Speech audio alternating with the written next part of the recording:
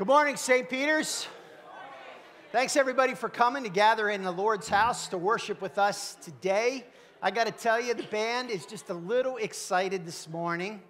There's lots of joy in the house today, and we hope it's contagious. We hope the joy of the Lord rubs off from us onto you, all the people surrounding you, that we get the privilege of coming into God's presence. So let's all stand, let's lift up our voices, and let's praise uh, Almighty God.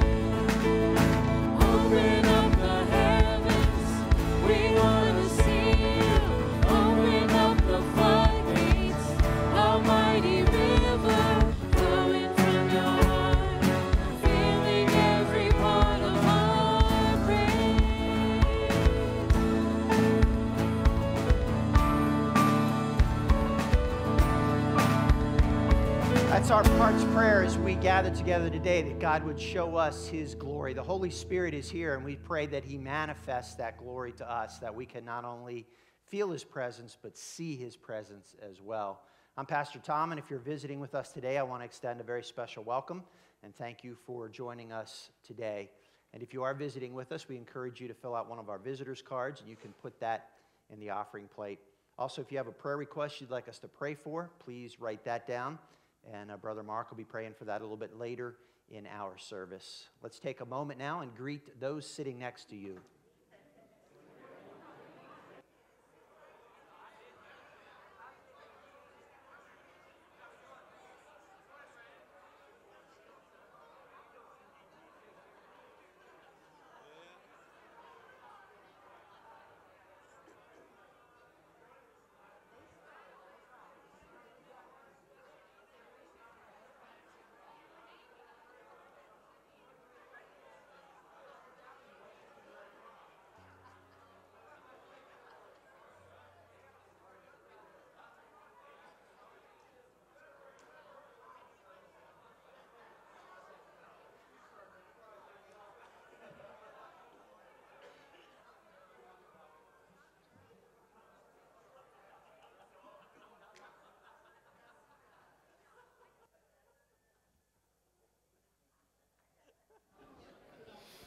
Good morning. I'm Pastor Jerry. Yes, for anybody new, Pastor Tom and Jerry. you guys are in good spirits and good voice this morning, so I'm not going to stand up here and delay it anymore. We're going to have our ushers come forward for our morning offering, and we're going to get right back into praising the Lord.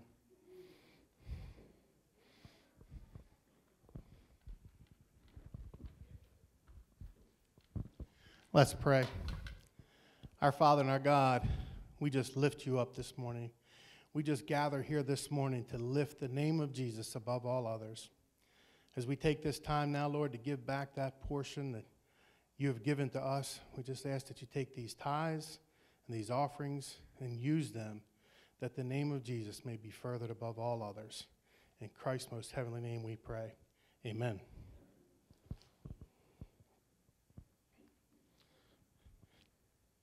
While the ushers are coming around, a couple of announcements that are in your bulletin. Teenagers Breakfast Tuesday morning, October the 8th at 8 a.m. at Brown's. Uh, we have the Christmas design coffee cups. If you have any Christmas design coffee cups you'd like to donate to the veterans, the deadline for that is October the 13th. And if you have any questions, please see Dean or Barb. Uh, we have our building fundraiser for, with the uh, meat sale. Uh, those papers are on the uh, registration table.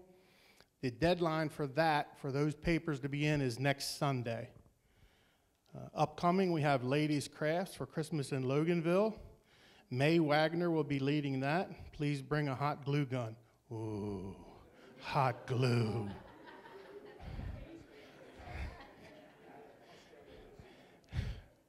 Our upcoming evening of prayer will be October the 12th. Uh, that's going to be led off at 5:30 with a meal downstairs, and then around 6:30 we begin our evening prayer services. Please put that on your calendar and, and be in prayer about attending and being here to just pray for the needs of our community and our country and our church. Uh, church family luncheon scheduled for October the 6th, right after worship. Um, Hot dogs and hamburgers will be provided. Please bring a covered dish for that.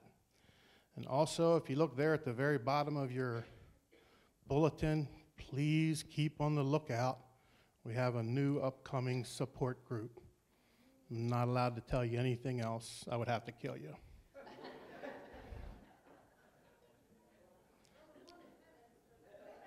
hey, might, might be a plus. So now for Please keep in prayer uh, Mike Carter, Mark Raffensberger, myself, and any of the other guys that have, yeah, Brother Dave.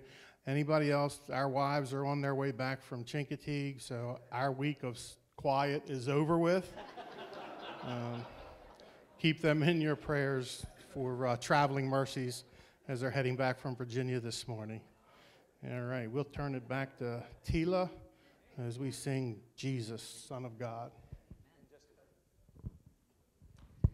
Let us rise, please. This morning I'll be reading from the Gospel of John, the fifth chapter, verses 24 through 27. Most assuredly I say to you, he who hears my word and believes in him who sent me has everlasting life, and shall not come into judgment, but has passed from death into life. Most assuredly, I say to you, the hour is coming, and now is, when the dead will hear the voice of the Son of God, and those who hear will live. For as the Father has life in himself, so he has granted the Son to have life in, in himself, and has given him authority to execute judgment also, because he is the Son of Man.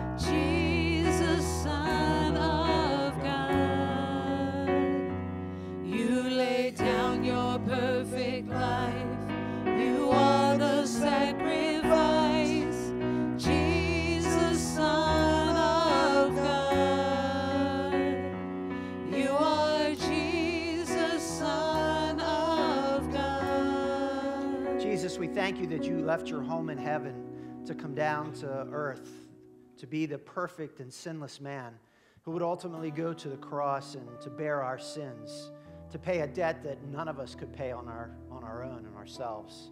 And God, as a result of that, our hearts just cry out to you in gratefulness and thanksgiving. God, we praise your name not only today, but every day for that reality that our sins are washed away. We have not just this life to live purposefully, but eternally with you. And so, God, we look forward to that. We look forward to living fully for you today and tomorrow, this week, this month, this year. And we look forward even more than that, God, to being with you face to face in your great kingdom forever.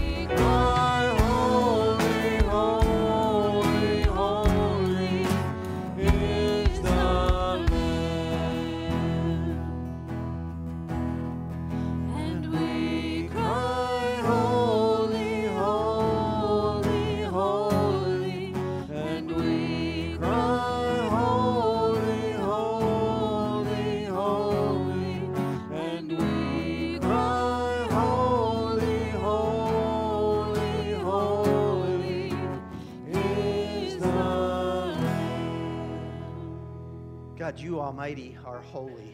We see recounted over and over and over again in the scriptures. Those who had a revelation from you, who beheld your glory, they literally fell on their face to worship as they realized there was so much in the presence of the Almighty God. Whether it was Isaiah and his privilege of being in your throne room, whether it was the Apostle John as he was given the great revelation. Lord, we see time and time again those who meet you have no response other than to get on our knees and humbly bow before you. Lord, in our hearts, we do that this morning as we think about your greatness, as we think about your might, as we think about your sovereignty, as we think about your righteousness and purity. God, we bow our hearts in reverence before you, crying out just like John and just like Isaiah Holy, holy, holy is the Lord God Almighty. It's in His name we pray. And all God's people said, Amen. You can be seated.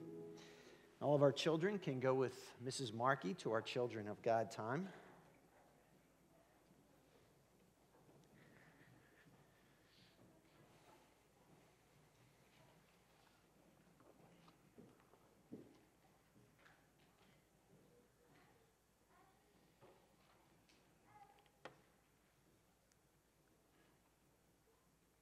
I want to just take a few moments at the beginning uh, to share this message is something that's been percolating in my heart for about the last three months. I had the privilege of taking a course over the summer months with uh, Dr. Mark Farnham. He's one of the professors at Lancaster Bible College Capital Seminary. And it was very much dealing with the topics that we're going to cover this morning. I'll explain more about that in just a few moments. But partway through our class, he began to have some cognitive problems and had some scans and found out that he had a tumor that was pressing against his pituitary gland. Had more scans, found out that he had a cancerous tumor in his small intestine as well. And so he underwent two pretty extensive surgeries uh, to take both tumors out. And praise God, he's doing great today, and he's, uh, he's on to the road to recovery and hopefully be back teaching by October. But in spite of the surgeries that he was facing, in spite of the big challenges that he had, he still was able to work with our class and encourage us and mentor us and coach us through. And as we had a chance to interact, he really encouraged me to take the material that I was writing about and sort of fashion it into a message. And I sort of had in the back of my mind that that would happen at some point. And so as I began to pray this week about 1 Corinthians chapter 15. I had the message pretty well done about Wednesday, and as I just kept praying and seeking the Lord about the Holy Spirit, just kept revealing that I wasn't done, that there was more for me to say. And so I went back and pulled out my notes from that class and the papers that I had written and sort of glommed together uh, those two things. So, what we're going to talk about this morning is the resurrection of Jesus Christ but I want to present it from the perspective of those who may be questioning the Christian faith. Because here's the situation. In our culture today, there's a lot of naturalistic people who do not believe that the miraculous can occur. And this comes from a philosopher that was about a little over 200 years ago by the name of David Hume. His writings from then have sort of dominated Western thought. He denied that the miraculous could even occur, primarily because he, or no what he deemed as credible witnesses, could observe those miracles. He defined a miracle as a violation of the laws of nature or a transgression of nature by particular action of a deity. Hume argued, quote, because we have access to historical events only through attesting witnesses, and witnesses can only be authenticated by virtue of analogy, analogy to our experience. And since our experience everywhere conforms to a known law of nature, no witness can be adduced whose testimony of the miraculous outweighs the probability that an event can be explained in purely naturalistic terms. Did I lose you along the way there? Basically, what Hume is saying is if I can't see it, I'm never going to believe it. I have to see a miracle in order to verify that it in fact happened. And in Hume's case, the resurrection was 1700 years before his time, and so he basically denied that the resurrection or any other miracle recorded in the Bible could in fact occur. Hume's thinking then began to infiltrate colleges and universities around the country and then ultimately around the world. And so his naturalistic view of the world is very popular today in secular society. The whole essence of our Christian faith hangs on one miracle, and it's the miracle of the resurrection. And so the question comes do we have proof? Is there, if, if you can lay your presuppositions aside, and I'm going to ask you to do that this morning, both Christians and non Christians, lay your presuppositions aside and approach the evidence that I'm going to put before you, much like a judge would approach a case that was presented in his court. And just ask yourself are these proofs enough to convince me of the reality of the miraculous resurrection of Jesus Christ?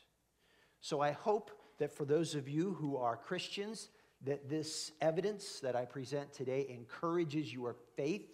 We believe it because the Bible says it's true, but also we have evidence outside of the Bible that can encourage us for its authenticity. For those of you who are not Christians, I ask for you to just lay aside your presuppositions and really consider for the next 30 minutes or so the evidence that I give you. And to begin, I want to start with what the Bible says. And I know for non Christians that may be a bad place to start, but here's why I want to do that. I think the Bible does offer compelling evidence for the resurrection. But secondly, we're going to lay the, what the Bible says against what secular history has to say, against what extra biblical sources have to say, and sort of compare the two. And hopefully, my assertion is that we can know that the Bible is true because of what sources outside of Scripture says it's true. I believe the Bible's true because the Bible says it's true. But I know not everyone will take the Bible at face value. And so, what I want to do this morning is offer corroborating evidence, if you will, for the truth, authenticity, and accuracy of Scripture. So, the question that we're going to answer today is Did Jesus Christ rise from the dead, and can we prove one way or the other? So, we'll begin in 1 Corinthians 15, and then we'll branch out from there. Now I make known to you, brethren, the gospel which I preached to you, which also you have received, in which also you stand, by which you also are saved, if you hold fast the word which I preached to you, unless you believed in vain. For I delivered to you as of first importance what I also received that Christ died for our sins according to the Scriptures, and that he was buried, and that he was raised on the third day according to the scriptures. And that he appeared to Cephas, then to the twelve. After that, he appeared to more than 500 brethren at one time, most of whom remain until now, but some have fallen asleep. Then he appeared to James, then to all of the apostles, and last of all, as to one untimely born, he appeared to me also. For I am the least of the apostles and not fit to be called an apostle because I persecuted the church of God.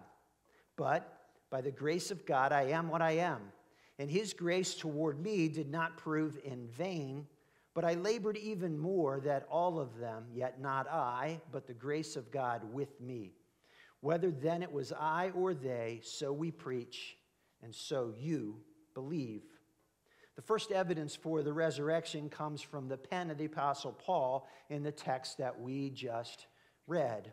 Paul makes known that in his day, there were over 500 witnesses who personally saw Jesus Christ, who was alive after he was confirmed dead by a Roman centurion.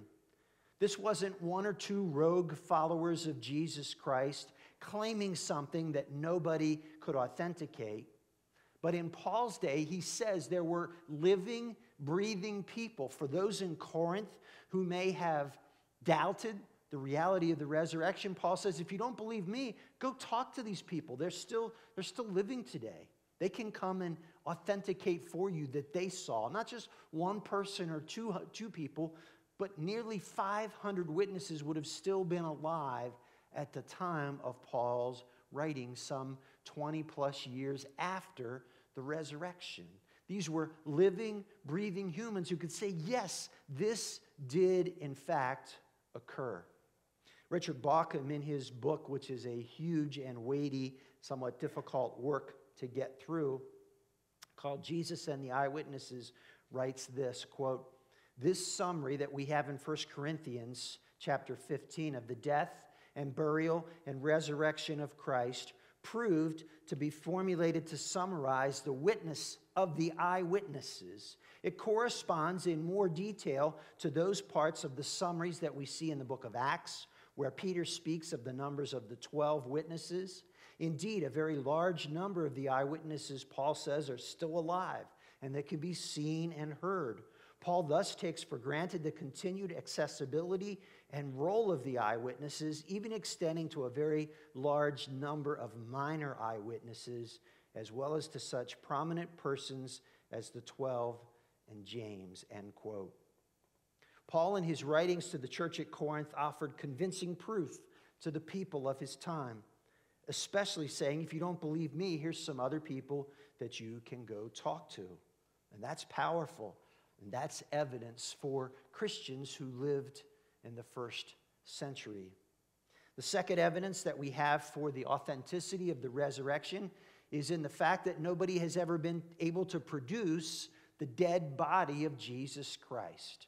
The Sanhedrin, the Jewish leaders of the day, they put out a diligent search. They had every reason to produce a body, and they couldn't because the reality is he was alive. Pontius Pilate as well, and the Romans looked. They all made a diligent search because they sort of have egg on their face.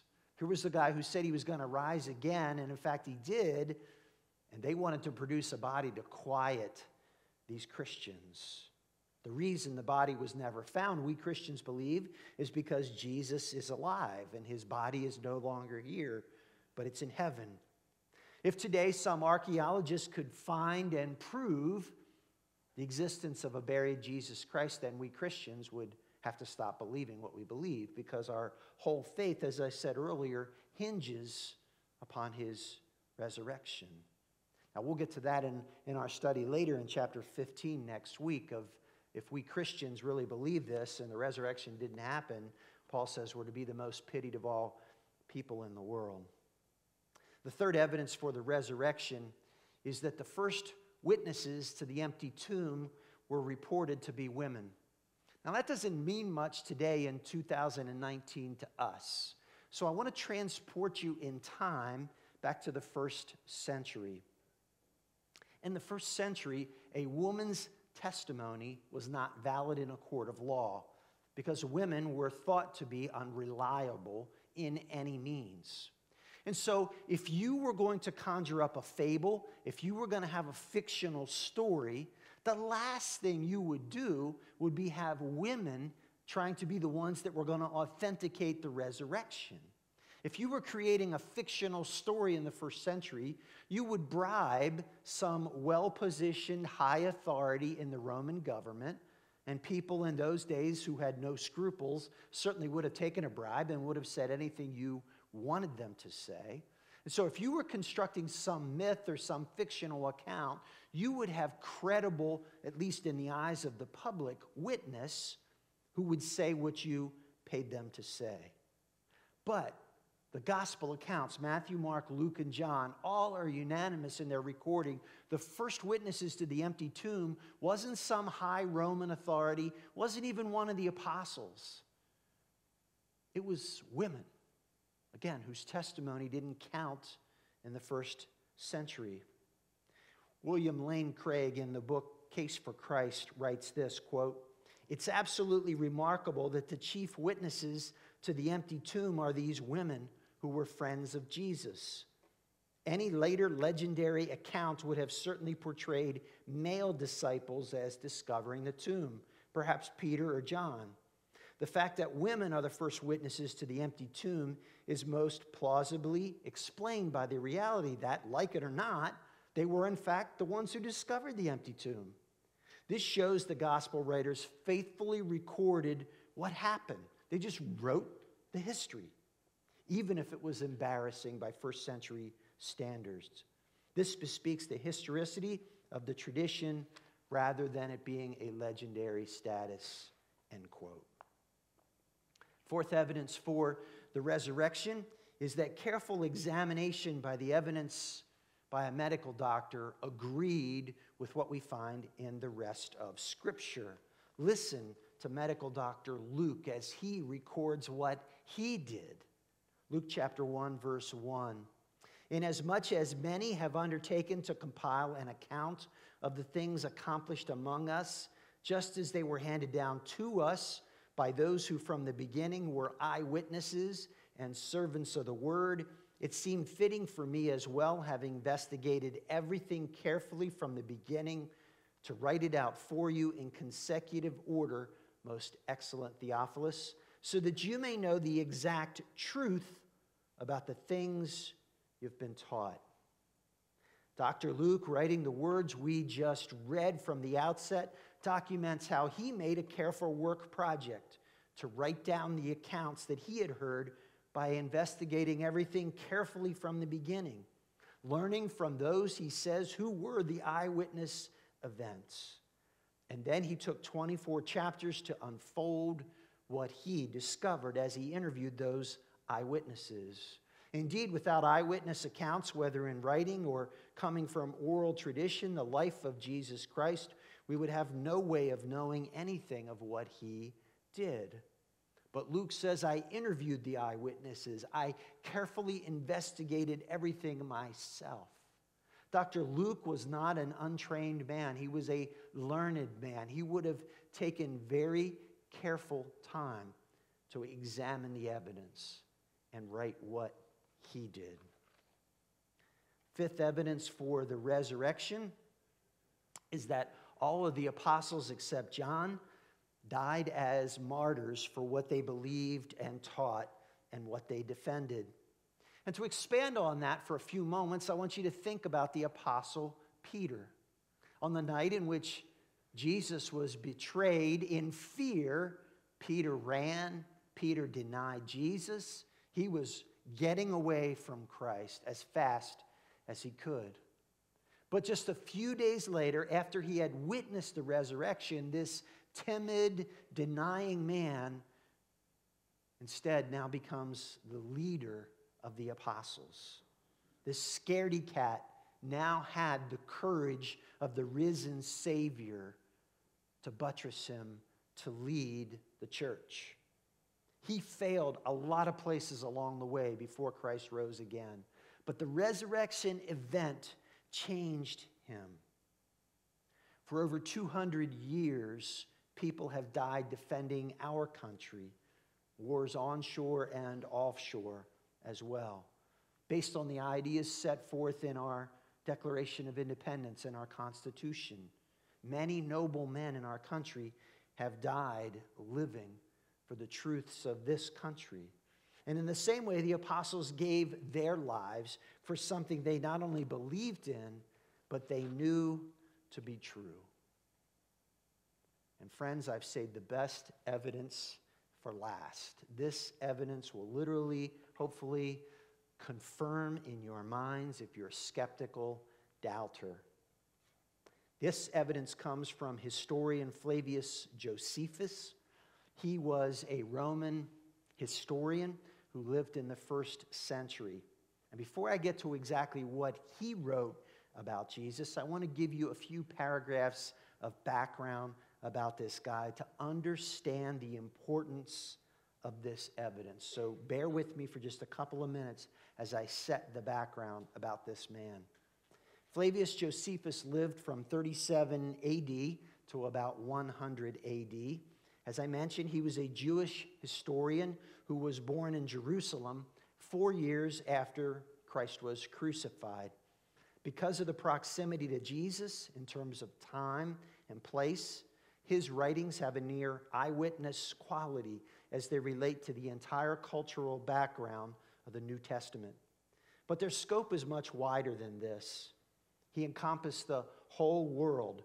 He took time to document much of what corroborates what we have in our Old Testament. His two great works are Jewish Antiquities, which unveil Jewish history from the creation to the start of the Great War with Rome in 66 AD. And then he had a second work, which is what these words uh, come from, which is uh, what authenticates what we see according to the gospel. Josephus is the most comprehensive primary source on Jewish history that has survived from antiquity and done so virtually intact despite its voluminous nature. There are 12 volumes from Josephus's writing. Because of imperial patronage by Flavian emperors in Rome, Vespasian, Titus, and Domitian, Josephus was able to generate incredible detail in his records, a luxury that was denied the gospel writers. They seem, Matthew, Mark, Luke, and John, to have been limited to a small scroll 20, 24, 28 chapters at most. But Josephus didn't have those limitations because he had the great wealth of the Roman Empire behind him. And so he recorded great works for us in his 12 volumes.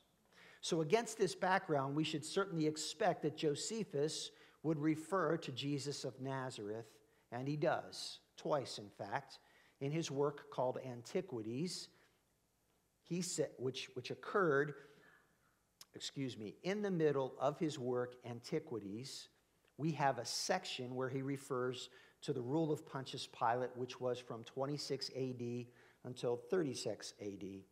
Josephus provides the longest secular reference that's outside of the Bible that we have of any known source today.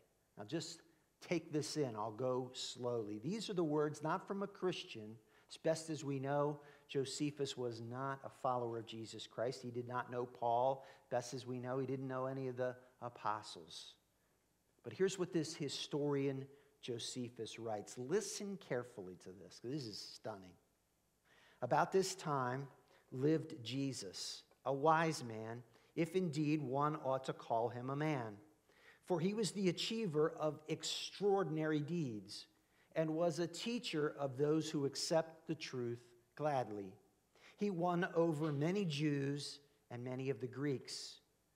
He was the Messiah.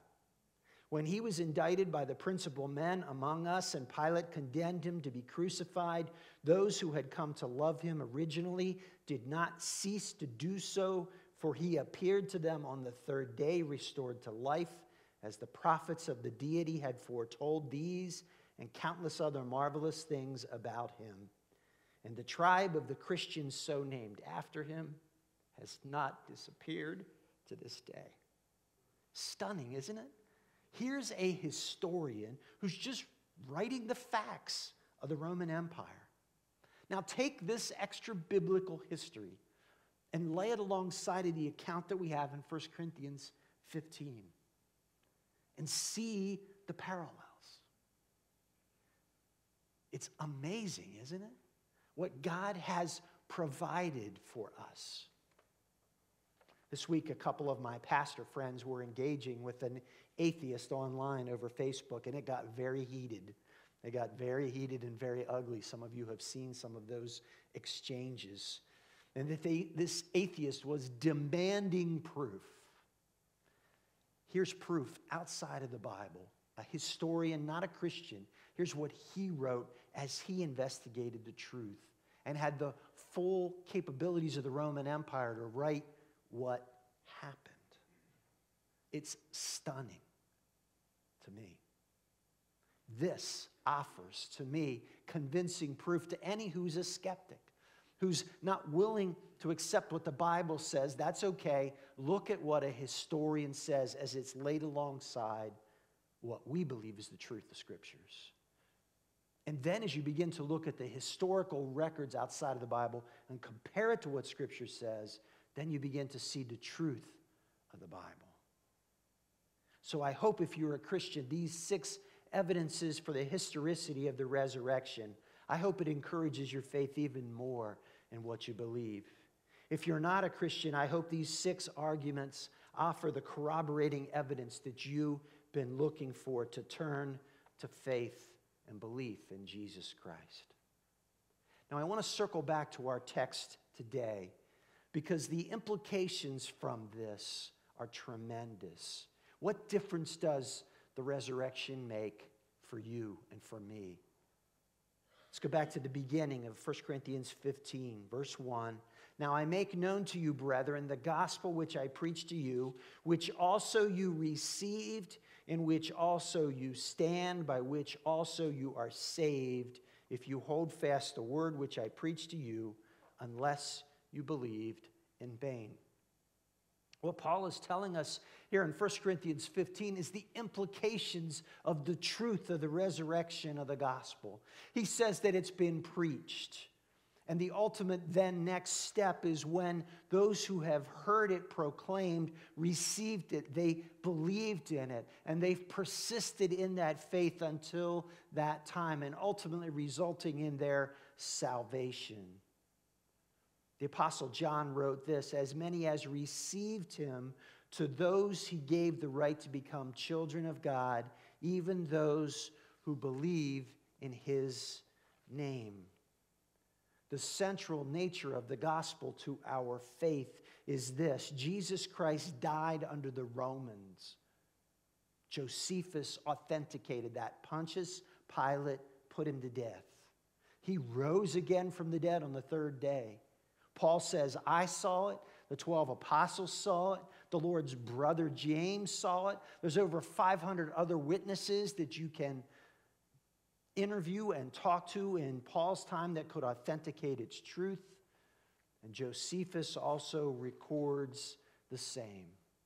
And the result, therefore, and what Paul is trying to push us onto as Christians is not keep this glorious truth to ourselves. He's saying what we have received, what we've believed, we have to tell others about it. He says, he uses the word preach there, which simply means to announce or to proclaim the good news. If you had the cure for cancer, you wouldn't keep it to yourself. If you had the cure for Alzheimer's, you wouldn't keep it to yourself. And we have something better than the cure for both of those diseases. We have the offer, the hope, the promise of eternal life. Therefore, we can't keep it to ourselves. Here's the, the way Jesus taught. Let's look at Luke chapter 8. Luke records this. He, Jesus, began going around from one city and village to another, proclaiming and preaching the kingdom of God, and the 12 were with him. What happened after the resurrection? What did the apostles do? They started in Jerusalem. Then they went out to the surrounding countryside in Judea. Then they went to the north to the Samaritans. And then they took it to the uttermost parts of the end of the Roman Empire in Asia Minor and Greece and Crete and eventually going down to Africa, and ultimately the gospel spread to Spain. To preach simply means to tell the good news. You and I are charged with proclaiming the gospel every day. You don't have to be a pastor to preach the good news. In fact, all of us are charged with announcing that good news to everybody around us. We can't stop with our church. We can't stop with our community. We can't stop proclaiming the good news until everyone in this world has had the opportunity to hear about Jesus Christ. God has ordained that mankind is going to face one of two destinies heaven or hell. And it's the reality. Heaven is attainable and available to all who believe in Jesus Christ, but it's not the default destination. The default destination of every human is hell because we have sinned, because we have rebelled against God's law. And so, not everybody by default goes to heaven, as is contrary to popular culture today. The default is everybody has gone to hell unless God steps in and saves the individual person. The goal of every Christian, and certainly the goal of this church, is the persistent proclamation of the gospel of Jesus Christ. That can be one on one over a cup of coffee. That can be when you just invite somebody into your home and you share a meal with them. That can be when you're having lunch with a coworker. That's when you hug a grieving and hurting person over the death of a loved one.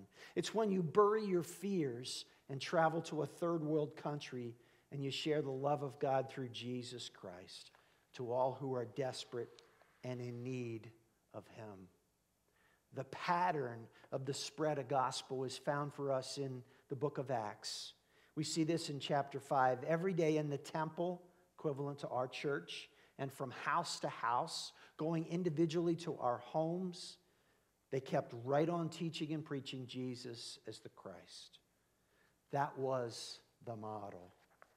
Now, if you're not sure how to do that, turn with me in your Bibles to Acts chapter 8. I just want to read real quick this story, and some of you already know it well, and I won't linger on it long, but I just want to share this story to give you an illustration of how anywhere, with anyone, at any time, you can share the good news of Jesus Christ. So, Acts chapter 8, let me set the scene for you. The gospel is beginning to spread and go beyond Jerusalem. And there's this young man, Philip, he's an evangelist. Acts chapter 8, verse 26. An angel of the Lord spoke to Philip and said, Get up and go south to the road that descends from Jerusalem to Gaza. This is a desert road. So he got up and went, and there was an Ethiopian eunuch, a court official of Candace, who was the queen of the Ethiopians, who was in charge of all of her treasure, and he had come to Jerusalem to worship. And he was returning and sitting in his chariot, and he was reading from the prophet Isaiah. And the Spirit said to Philip, Go up and join his chariot. So Philip ran up and heard him reading from the prophet and said, Do you understand what you're reading? And the eunuch said, Well, how could I unless someone guides me? And he invited Philip to come up and sit with him. Now, the passage of scripture which he was reading, and notice the coincidence here, I put coincidence in quote. He was led as a sheep to slaughter, and as a lamb before its shears is silent, so he does not open his mouth. In humiliation, his judgment was taken away who will relate his generation, for his life is removed far from the earth. The eunuch answered Philip and said, Please tell me, whom does the prophet say, of himself or of someone else? Then Philip opened his mouth and he began from this scripture. Notice the word here, he preached Jesus to him. There's Philip and the eunuch alone in a chariot. You and a coworker in your car. You and a coworker over a cup of coffee. You and a friend who's grieving together, announcing, talking about the gospel. Verse 36 As they went along the road, they came to some water, and the eunuch said, Look, water, what prevents me from being baptized? And Philip said, If you believe with all your heart, you may. And he answered and said, I believe that Jesus Christ is the Son of God. And he ordered the chariot to stop, and they both went down into the water, Philip as well as the eunuch, and he baptized him. It can happen that fast, it can happen that simply. It happens that quickly every day. As you just have the courage, as Acts says, Philip opened his mouth we just open our mouth and speak the truth of what we know to be true. Philip was just out for a walk, and here comes a guy who needed to meet Jesus. And Philip opens his mouth, and this guy's in eternity with Jesus now because Philip announced to him the good news. Philip was simply a willing witness wherever he was. Paul was the same way. He used pen and paper to write about it. He traveled all over the world teaching and sharing the gospel, and he ultimately died for failing to recant his faith in Jesus Christ. Why did Paul do this? Why did countless others do it as well? Paul gave us the answer in our text for today. By the grace of God, I am what I am, and his grace toward me did not prove vain. But I labored even more than all of them, yet not I, but the grace of God with me. Whether then it was I or they, so we preach, or so we announce, or so we share. And the result is that you believed. So, church, this is huge for us. For those who have never believed in the gospel, man, I hope today you have seen the convincing proof that you need.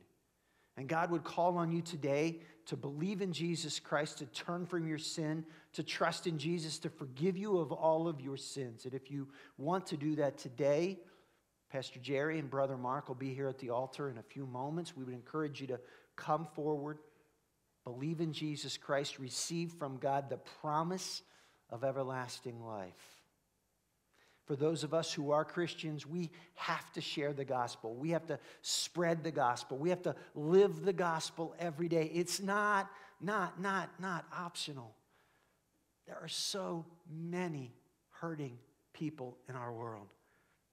You don't have to look far to find people who are looking for what's missing.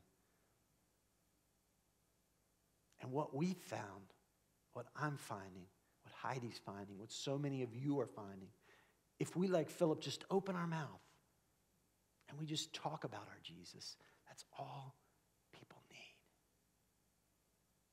They need us to share what we know is true.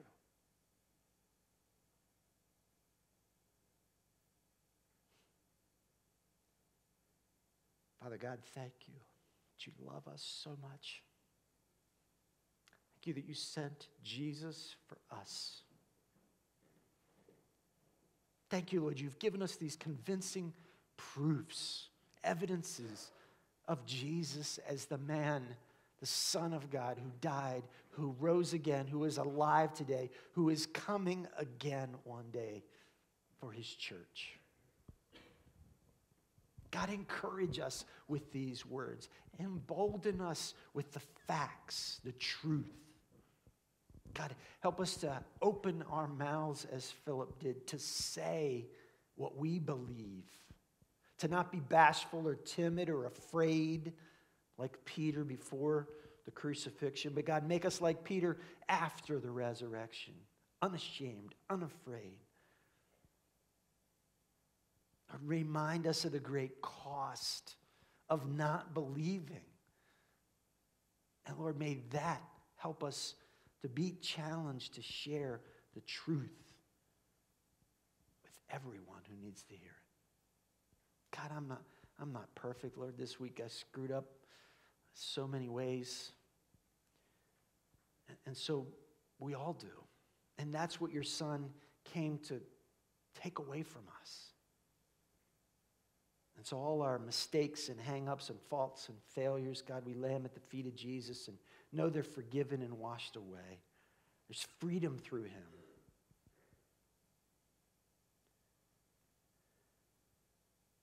God, help us to declare that same freedom the promise of everlasting life, the joy of living with you. God, Help us to announce it clearly, to preach this gospel because it's a privilege and a joy at the same time. Now, Father God, we pray that you hear our prayers of intercession as Brother Mark comes to lift them up now. Father God, we just thank you for this time. Thank you we could be here this morning, Father. Father, we ask that um, be with the one, the women coming home from uh, the beach. Just give them safety in their travels, Lord. Uh, thank you for their time away, that they could be uh, away and just be able to refresh and regroup and have the fellowship of one another. We ask, Father God, that you would be with uh, Jan Myers as she's having troubles with her knees. We ask that you be with the doctors and uh, the therapists that they can be able to figure out what's going on and be able to help heal her body. We ask, Father, for continued prayers for Raymond Christus with his foot. Uh, just continual healing in that, Lord. Um, just continue to be with him, um, with his mind. As uh, we know, the hopes that he had to be able to uh, play this year, and uh, now he's sitting on the sidelines. But allow him just to continue to be a leader um, to the rest of the young men there on his team, Lord. That your Holy Spirit guide and direct him, Father. Father, we ask that you be with Hazel Momert as she has uh, moved into a home now. Uh, just uh, the next step in her life, we just pray and we ask that you would be with her, Lord, and allow her to be able to settle in and make new friends um, where she is, Lord. Father, we just pray that you would uh, be with us, be with us all who are here today, Lord. That as we go and depart from these doors and go out into the world, Lord, in our everyday task, that we can have the courage and the boldness. You put opportunities before us each and every day to be a witness for you. Allow us, as Tom said this morning, just to open our mouth, open our lips, and share the good news. Share the joy and the excitement that we have in serving you. Give us that courage this week, Lord. Let us be a light and a beacon for you this week. In Jesus' name we pray. Amen. If you're in need in prayer, Pastor Jerry and Brother Mark will be here at the altar. We'd encourage you to come pray with them. For everybody else, let's stand and sing our closing worship together.